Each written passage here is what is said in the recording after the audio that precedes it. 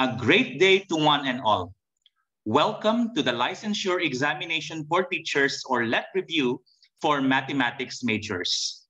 I am Dr. Kim J.C. Ensho, and I will be your discussant for today. I will be discussing with you set A with 50 items. So I hope you have your pens and pencils and paper with you and feel free to pause the video from time to time while doing the problems and let's see if you get them correctly. Are you ready? Let's start. Let's have number one. If 2x minus 3 equals 5, what is 4x plus 1? Is it 17, 18, 19, or 20? What do you think?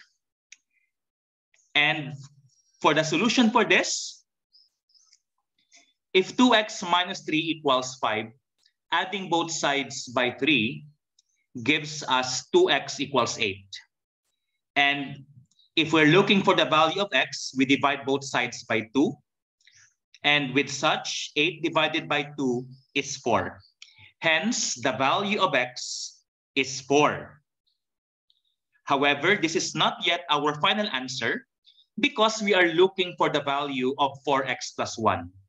And substituting x with 4, we have 4 times 4 plus 1, which is 16 plus 1, and the correct answer is 17. And that is letter A. I hope you had a great start. Let's move on to second question. Let's have question number two.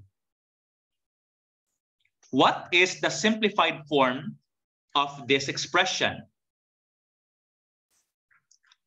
Please give this problem a try. Let's see. Is it three, four, five, or six? Let's see. By simplifying this, we have to simplify uh, you see there are many grouping symbols. And if this happens, as much as possible, we have to apply the GEMDAS rule. And also, if there are multiple um, groupings, so we have to simplify from the inside most going to the outer, outer ones. So in this case, we have to simplify the 4 squared minus 2 cubed first.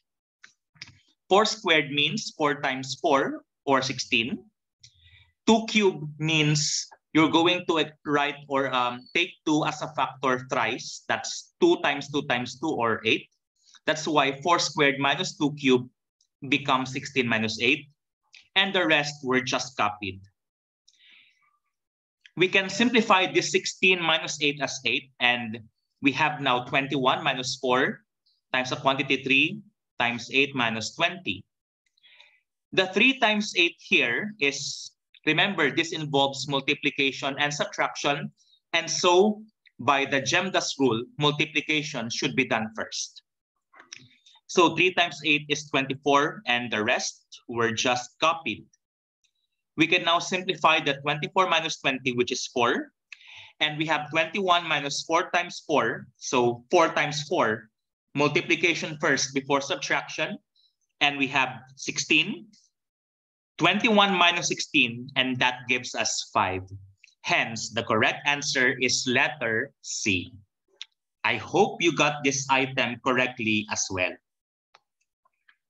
Let's have question number three.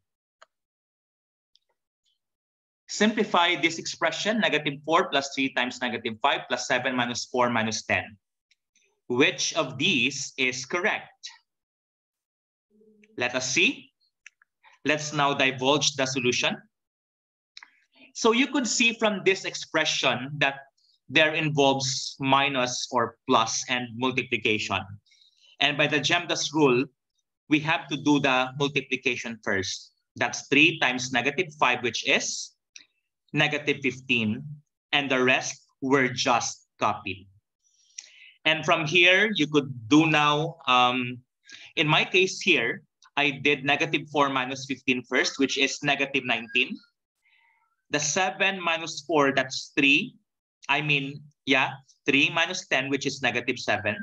That's why I have negative 19 minus 7, which simplifies to negative 26. If you got this correctly, congratulations. But if not, better luck next time and do your best for the succeeding items. Let's have the fourth one. So here it's letter A. Let's have number four. Evaluate xy plus 3x minus y over 4 if x is negative 1 and y is 5. Is it negative 7, 2, 5, or 9 fourths? So basically what we're going to do is we will substitute the values of x and y to this expression and simplify it using our order of operations. So from here, by substitution, so we have here all x was, were replaced by negative 1 and all y's were replaced by 5.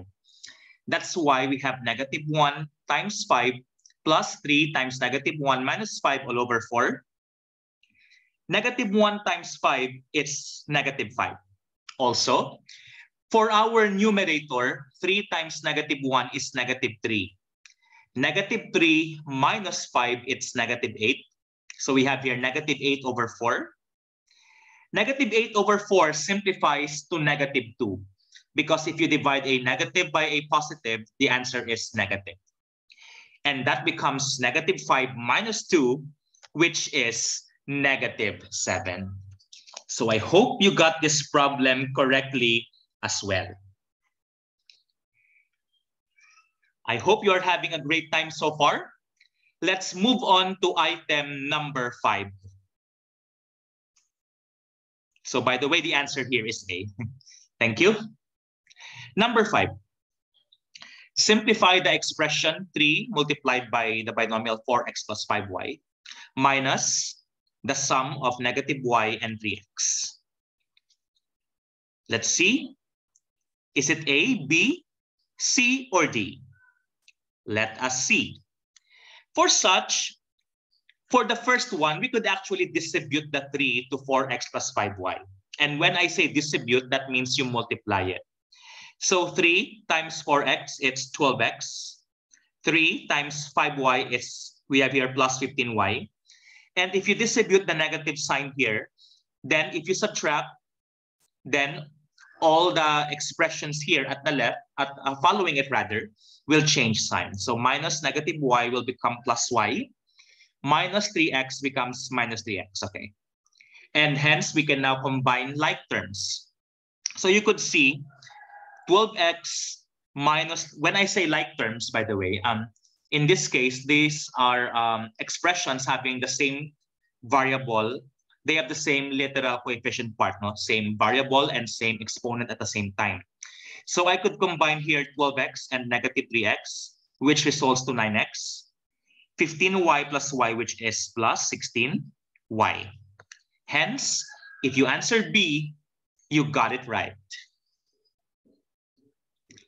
Moving on to item number six.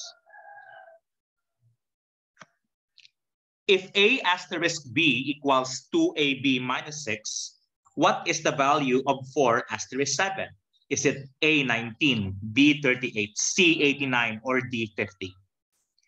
If you encounter problems or word problems like this, all you have to do is follow the pattern or the format and change, in this case here, the A will be replaced by 4 and the B will be replaced by 7.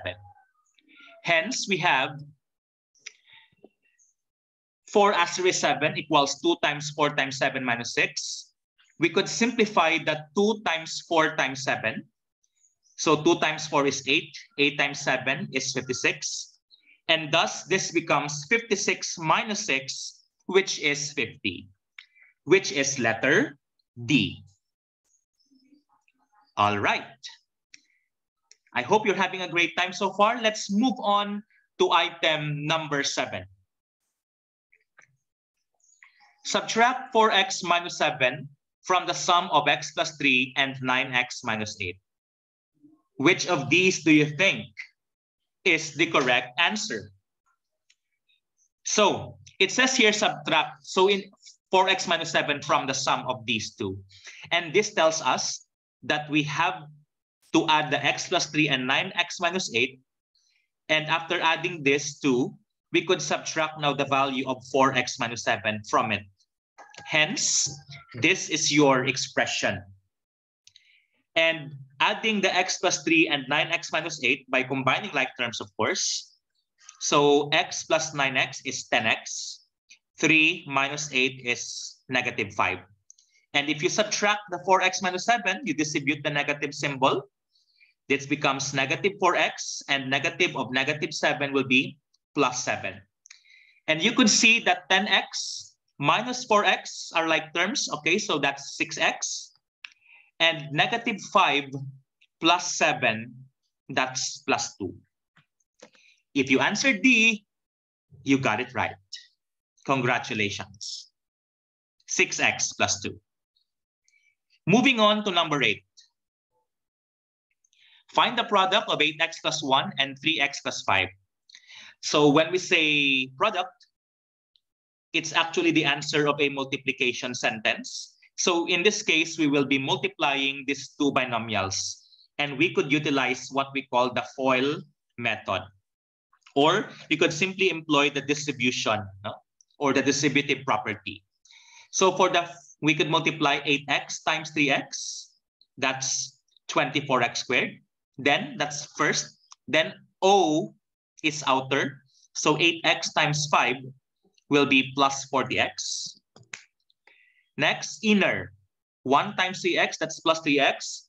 And last, 1 times 5, which is positive 5. We could combine 40x and 3x into 43x.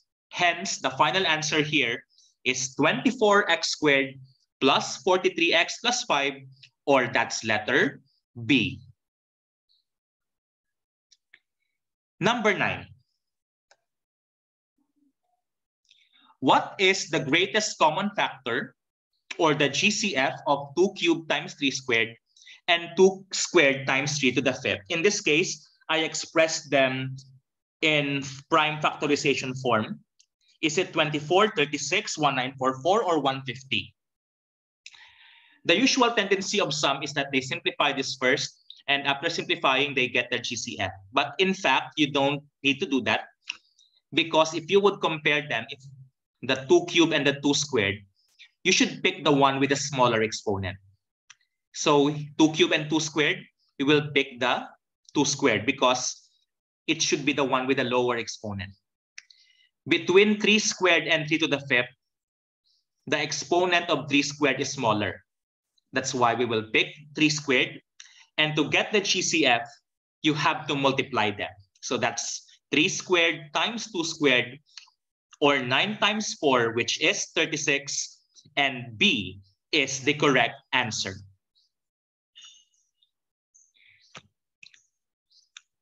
Okay. I hope you were able to recall your number theory for this. Number 10. Which of the following is equivalent to the negative of the fifth power of 2x cubed y to the fourth. Which of these do you think is correct? Feel free to pause the video if you wish. And now I will divulge the answer.